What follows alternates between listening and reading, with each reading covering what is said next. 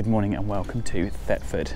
And I'm here with my friend Alice to do a little walk around the town to check out the lovely Nunnery Lakes Nature Reserve and numerous historic sites, of which one is just behind me, and that is the 11th century nunnery of St George. And it's actually at the site of the British Trust for Ornithology. And this is their nature reserve, their one and only nature reserve. And I'm now crossing the river into the reserve itself. Um, the plan is to go and visit, as I say, lots of historic sites. I've got the castle, the Iron Age fort, a couple of priories and ruined churches. Be really, really interesting, and also to see what sort of nature there is about today on this glorious spring morning.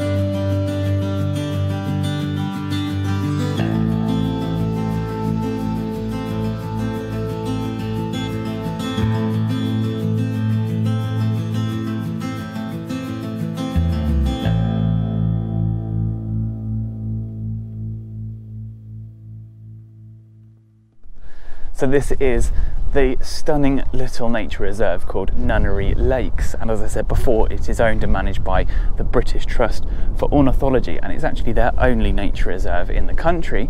There is a hide just at the far end with a few permissive paths round. And me and Alice were so lucky just to head over to the uh, Kingfisher viewing point on the other side of this lake. And there were two juvenile I think kingfishers just fishing and it was just so lovely to see them. We've seen um, tufted ducks and there's Canada geese. Um, quite a lot of wildlife about. Um, long-tailed tits, robins. Yeah, it's just been absolutely lovely to have a little visit here. It's been quite a few years since I was last here. Oops. And it looks like they're creating another little wetland bit on the other side of the path, which will be really good for birds like snipe and uh, other waders. So I'm going to head round this side of the reserve now and then over towards the impressive Castle Earthworks.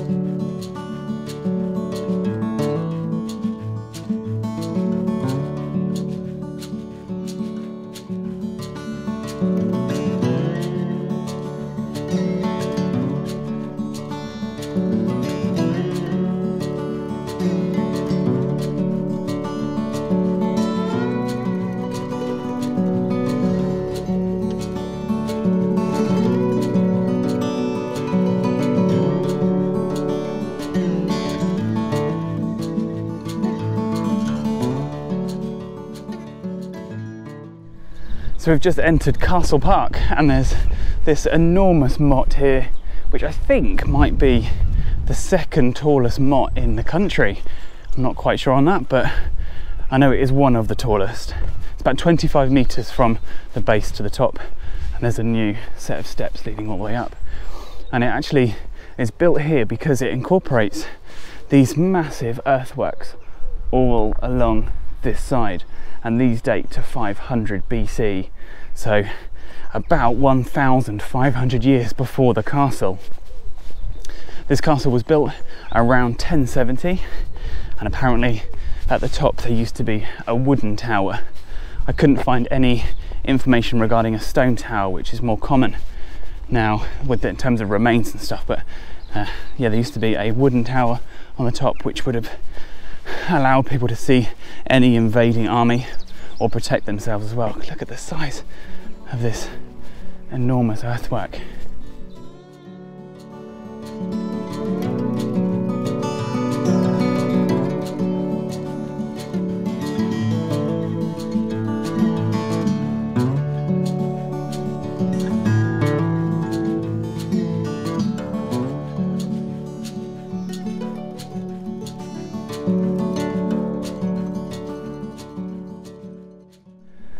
So we just got to the top of the motte and we counted 90 steps and it was steep. but it is so, so high. And you can really see the impressive Iron Age earthworks. There's multiple banks and ditches that head out over towards the rest of the park over that way.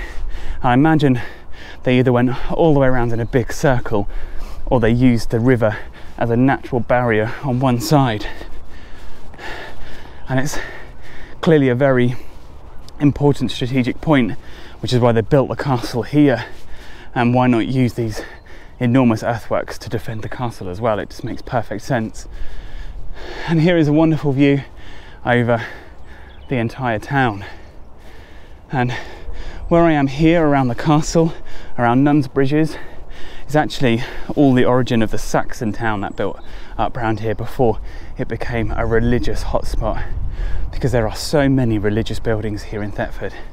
Numerous priories, there were friaries, I think there was even a cathedral just over near a friary in the town centre, and there's the enormous St Mary's Priory, which I'm going to go and look at very shortly. Sadly, all that remains is just a few ruins, but it makes a nice little historic walk around the town.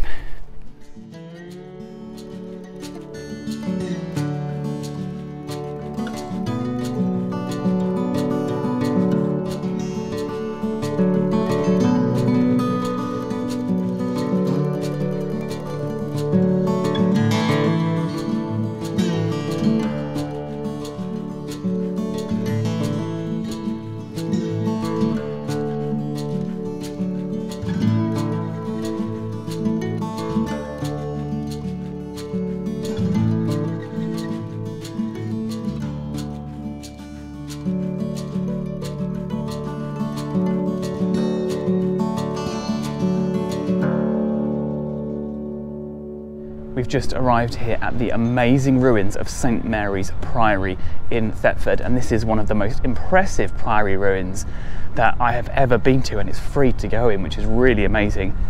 It's in the care of English heritage and it dates back to the 12th century.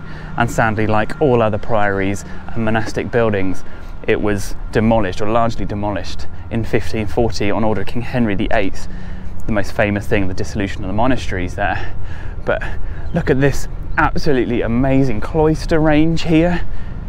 You can just imagine it like if you visited cathedrals in the past, they all have cloisters. You can just imagine a similar thing right here. I'm inside the church at the moment, and you've got parts of the original arch you can see up there. Some areas of original faced stone, which is just lovely.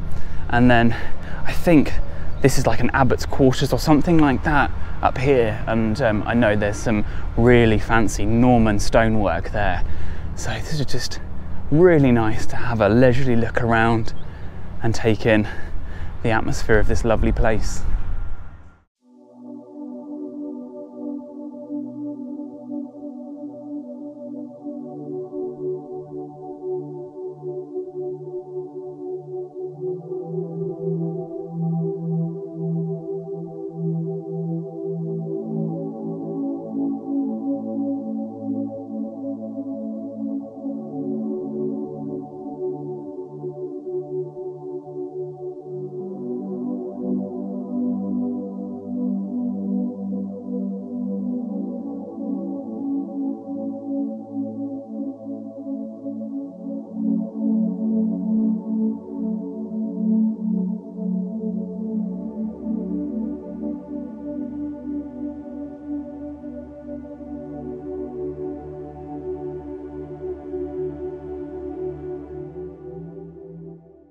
So this impressive building is the Prior's Lodgings and the two arches in the middle are actually two very fine examples of 12th century archways, which is actually the date of the priory. But after the dissolution of the monasteries in 1540, this building was actually used as a house for another 200 years, which is why you've got all of these different phases as it was modified and altered over those centuries. But by about 1820, I think, the building was actually roofless and derelict, and it is in the condition you can see it today.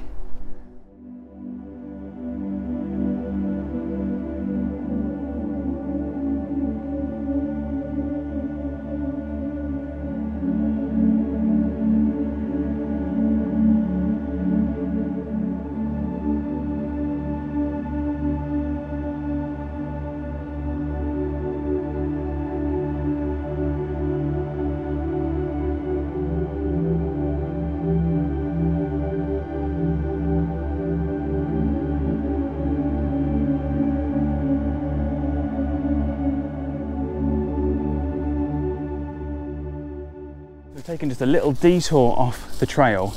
St Mary's Priory is just a few hundred metres over there, and we followed the road to an area of woodlands because there's another castle here, and this is a medieval ringwork that dates to the 12th century.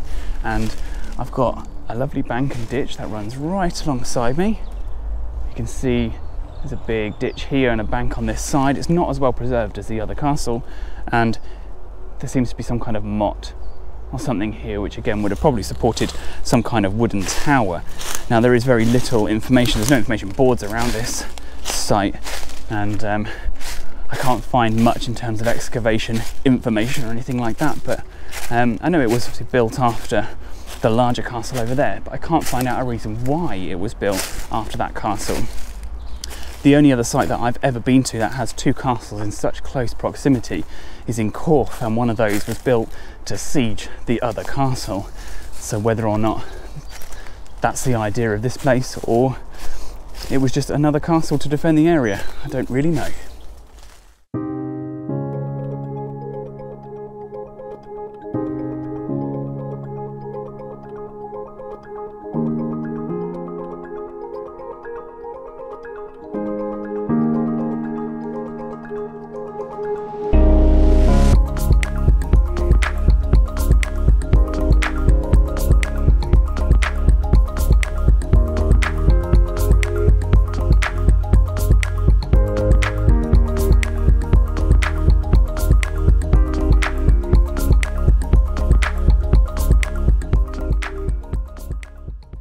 Way back to Nuns Bridges, I had to stop here at this lovely priory ruin. This is the Priory of the Holy Sepulchre, or Sepulchre. I have no idea how to pronounce it. It is S E P U L C H R E. No idea how to pronounce that. But what's really amazing about this scheduled ancient monument is that it's the only priory dedicated to the Holy Sepulchre that is surviving in England. It is very small. This is the nave of the church and unfortunately it's closed at the moment for essential maintenance.